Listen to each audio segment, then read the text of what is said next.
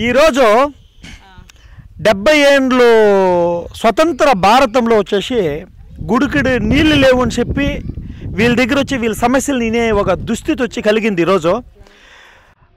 అమ్మ ఇది నల్లగొట్లపల్లి గ్రామము గంగవరం మండలము పలంనేరు తాలూకా చిత్తూరు జిల్లా. ఆంధ్రప్రదేశ్ ఇంకా మాట్లాడుతూ ఉన్నాము. నాడు ఎవరో కానీ నీళ్ళు పోసుకోవాలా ఇండ్లు మేము ఇట్లే ఉన్నాం పనికి రాకుండా. ఏం చేసేది? అంటే పండగ రోజు కూడా నీళ్ళు పోసుకోవాలని ఆశ దేవుడికి పూజ చేయాలని ఆశ. అయినప్పటికీ ఆ నీళ్ళు పోసుకునేదానికి నీళ్ళు లేవు. నీళ్ళు లేవు. పండగ నాడు కూడా నీళ్ళు పోసుకోవాలా ఇండ్ల ముందు అలుక్కోవాలా? మేము ఇట్లే పడినాము ఏమి పనికి రాకుండా అడుగు గూట్ల మాదిరి పడినాం మురికి పందుల మాదిరి ఉండాం మేము. తాగేకి నీళ్ళు లేవు పోసుకునేకి నీళ్ళు లేవు. పండగలే దేవరాలే మాకు. ఇంత మటుకు ఉంది. అవునమ్మా. చూస్తే వచ్చేసి కాళ్ళు కూడా చాలా ప్రాబ్లంగా ఉండాది. ఈ నీళ్ళు వచ్చేసిందన్న రాకన్నా ఉంది. ఎన్ని రోజులు అయి తల్లి నువ్వు స్నానం చేసి ఎన్ని రోజులు ఇంకా కష్టపడతా ఉన్నావు? నీళ్ళు లేకుండా చెప్పమ్మా. చాలా చాలా రోజులు ఇంకా నీళ్ళే పోసుకోలే నీళ్ళు లేకుండా కాలు లేదు ఏమీ లేదు. ఏం చేసేది సార్? ఇట్లా బాధల్లో ఉండం మేము. నీళ్ళే లేవు సార్ తాగేదానికి. మా కొలాయి లేపిండా రోడ్ లేపిండా? నీళ్ళు మాకు వచ్చేట్లుగా చేయండి సార్ మాకు. తాగేదానికి ఇన్ని దినాల నుంచి నీళ్ళు లేక ఏమీ లేక నేను చెట్ల పండగ దగ్గర కావాలి కదా. మాకు ఎట్లా ఉండేది మంచి నీళ్ళే కావాలి మాకు ఉప్పు నీళ్ళు ఉంటే మాకు ఎట్లా చేసేది పరిచయాలు పడుతుంది. మాకు మంచి నీళ్ళు కావాలి అదే నేను కోరుకుంటా ఉండేది.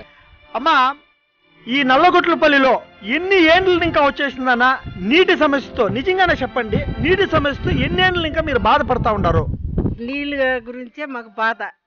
బోర్ వేస్తే బోరు పైలైపోయింది. నీళ్ళే నీళ్ళ సమస్య రోడ్లు. కాలనీ ఇండ్లే గవర్నమెంట్ కట్టించిండేవి రోడ్లు లేవు. నీళ్ళ సమస్య. ఇరవై ఏళ్ళు ఇంకా ఇట్లా అల్లాడుతా ఉన్నాం. ఆ బోర్లో నీళ్ళు రావు. అవి మనిషికి రెండు బిందుకులు వస్తే కడుక్కునే గుడతాలు. నీళ్ళు ఆడ ఏడ తెచ్చుకుంటా ఉండం నీళ్ళు. నీళ్ళు సమస్య మాకు ఎక్కువ రోడ్లు నీళ్ళ సమస్య ఈ రెండు సమస్యలే ప్రధానంగా. ప్రధానంగా ఈ రెండు సమస్య నీళ్ళ సమస్య. నీళ్ళ సమస్య రోడ్డు సమస్య. ఇది తీర్చాలి మాకు ఓకే ఓకే